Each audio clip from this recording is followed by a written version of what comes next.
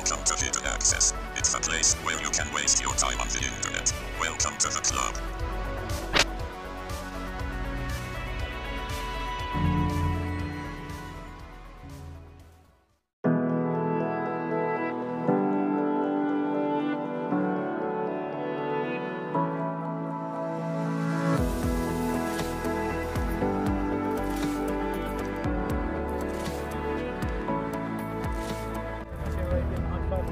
Well, it's an absolute honour to be here for the first flight um, of a hydrogen electric aircraft uh, here today. I mean, it just shows the depth um, of skill that there is here, real technological innovation, and the commitment as well of the government of ensuring um, that we get to uh, net zero in aviation by 2050.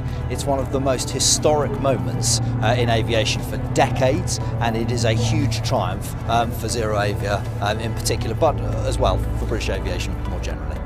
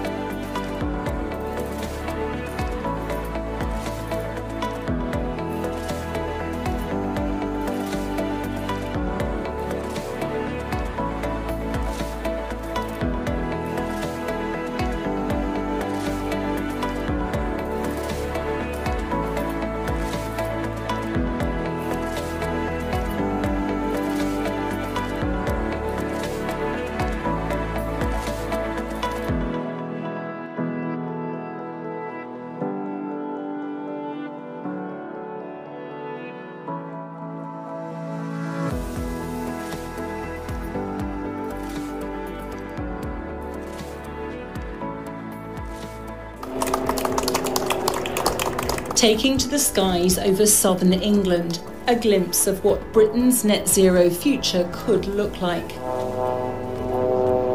This is a short demonstration flight of a small plane powered by